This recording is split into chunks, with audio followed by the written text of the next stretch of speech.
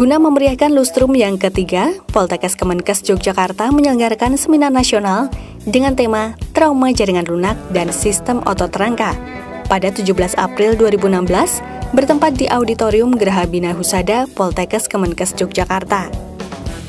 Seminar nasional untuk meningkatkan pengetahuan sekaligus sebagai temu alumni ini diikuti oleh lebih dari 600 peserta yang terdiri dari alumni, mahasiswa, maupun berbagai profesi di antaranya perawat, bidan, perawat gigi, dan ahli gizi yang berasal dari berbagai daerah seperti Banjarmasin, Jakarta, Bogor, Surabaya, dan lain-lain.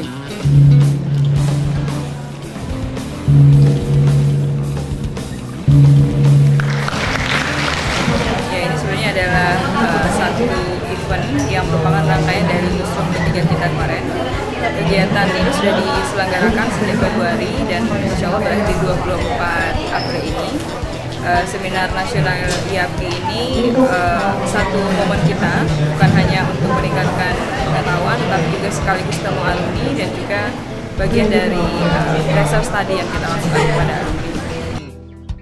Narasumber yang dihadirkan pada seminar nasional kali ini berasal dari RSUD Sleman, RSUP Dr. Sarjito, serta Poltekkes Kemenkes Yogyakarta. Dalam seminar ini dibahas mengenai cedera pada jaringan lunak dengan istilah luka, yaitu terputusnya keutuhan jaringan lunak baik di luar ataupun di dalam tubuh. Adapun jaringan lunak sendiri meliputi kulit, jaringan lemak, pembuluh darah, jaringan ikat, membran, kelenjar, otot, dan syaraf. Jika terjadi cedera jaringan lunak, maka bisa menimbulkan beberapa komplikasi pada tubuh korban, seperti pendarahan, kelumpuhan, dan lainnya sesuai dengan luasnya dan jaringan lunak yang terkena.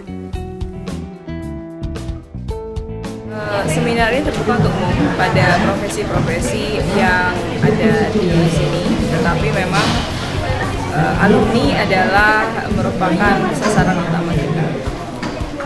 Ke depan harapan kita bahwa Poltekkes dengan alumni ini